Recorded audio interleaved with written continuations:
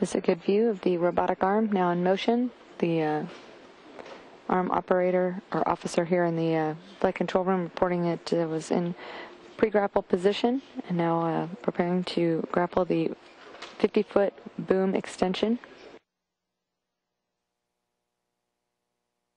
The robotic arm is operated inside the space shuttle cabin.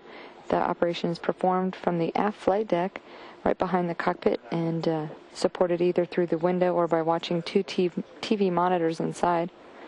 To control the robotic arm, the operator uses a translational hand controller with his or her left hand and manipulates the rotational hand controller with his or her right hand.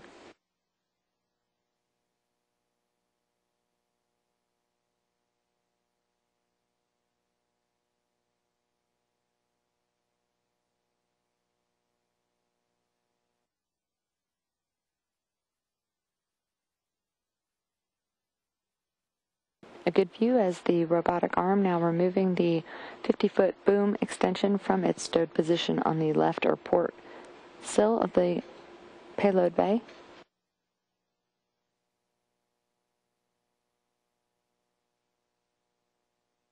At the end of this boom extension are the uh, specialized cameras that will help with today's inspection activity. That will be a, a meticulous inspection of the starboard wing as well as the nose cap and port wing getting a uh, some detailed imagery of those uh, leading edge surfaces and the critical thermal protection system, making sure there hasn't been any damage that would cause any concern for reentry.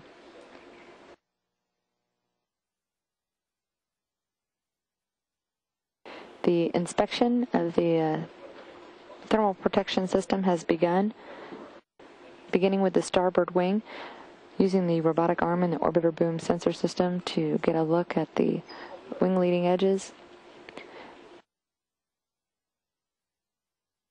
As the uh, surveys continue on the starboard side of Space Shuttle Atlantis.